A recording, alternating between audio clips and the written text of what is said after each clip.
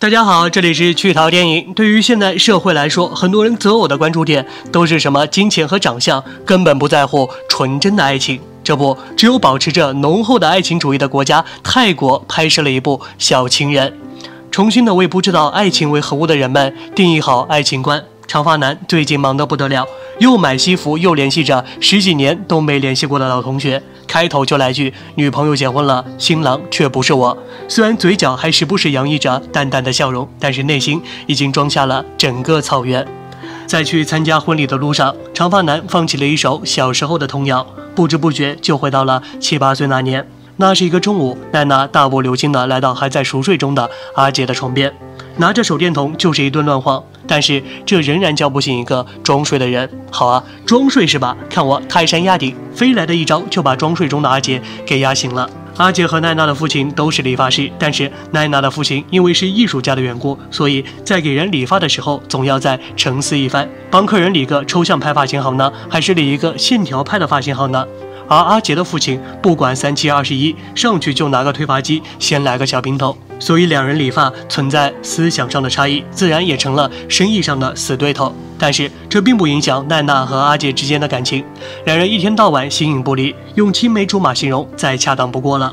但是这却让其他的小伙伴对阿杰产生了厌恶，他们认为一个合格的男生就不应该跟女生一起玩，否则长久之后很可能就会受女生的影响产生 gay 的基因。看来单身狗的养成也是有原因的。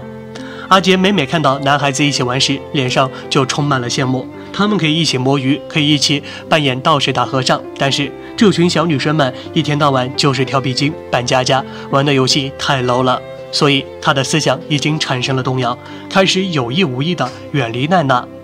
男生们越来越鄙视阿杰了，并让他剪掉女生们的橡皮筋，就可以和他们一起玩。阿杰受不住男生们的诱惑，当着奈娜的面就把她的橡皮筋给剪掉了。娜娜看到心爱的橡皮筋成了两截，心中的悲痛无法言说。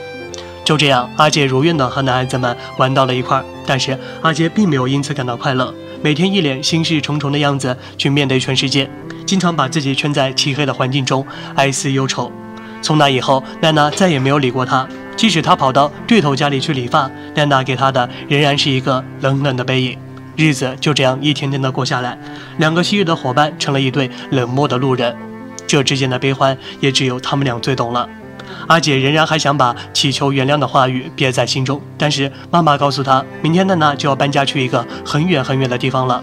阿姐心想，再不把心里话说出来，可能就会后悔一辈子。所以她先从小伙伴那里迎来了一大把橡皮筋，想要送给娜娜。可是娜娜坐的车子太快了，无论阿杰怎么努力，她始终追不上娜娜的身影。看着他们一家渐行渐远的身影，阿杰的泪水早已浸湿了眼眶。他多么想把内心的话向娜娜说清楚，多么想真诚地站在娜娜跟前道个歉。从此以后，每每从娜娜家路过时，阿杰总会往她家里看一眼，希望能够在那间房中再次看到奈娜的身影。很多年以后，阿杰长大了，小辫子也留得可以当鞭子甩人了。此时，他再次接到奈娜的电话，是一种惊慌，但更多的是惊喜。电话那头告诉阿杰：“如果你不来，这婚我就结不了了。”阿杰带着满心的祝福来到奈娜的婚礼上，这个有着长长的双辫子、红红的脸颊，还有着水灵灵的大眼睛的女神，仿佛也在这一刻又重新回到了童年的时光。虽然奈娜不曾做过阿杰的女朋友，但是在他们的心中早已经是可以执子携手的另一半，只是造化弄人罢了。电影到这里也就结束了。有时候明明看似已经把某人紧紧地抓在手中，但是往往一个不小心，仍然能把对方弄丢。所以，我们能做的只有尽力去爱护眼前的人，别等到真正失去的时候才感觉到后悔。好了，今天的视频就到这里了，喜欢的朋友们可以点击关注收藏哦。我们下期节目再见。